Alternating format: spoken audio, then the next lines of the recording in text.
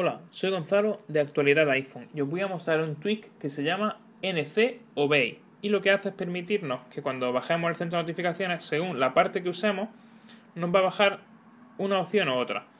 ¿Veis? Si bajo por el medio me muestra todo, si bajo por el lateral me muestra no visto y si bajo por el otro lateral izquierdo me muestra hoy. A ver. ¿Veis? Y lo más interesante es que mientras deslizamos podemos cambiar entre uno u otro moviendo nuestro dedo. ¿Veis?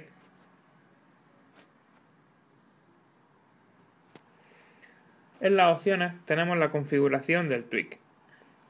Es un tweak gratuito que podemos encontrar en Cydia. Esta es la opción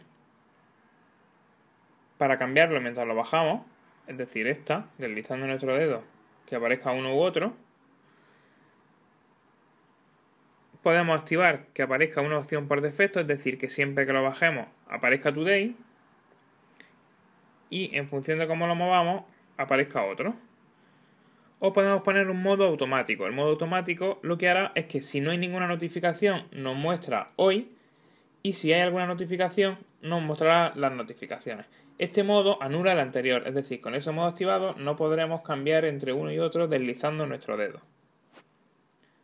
Y debemos hacer respring si usamos ese modo. La verdad es que es más cómodo sin usarlo. Simplemente deslizando nuestro dedo vamos alternando entre las pestañas mientras lo bajamos. O si tiramos de un lado aparece una cosa y si tiramos del otro aparece otra.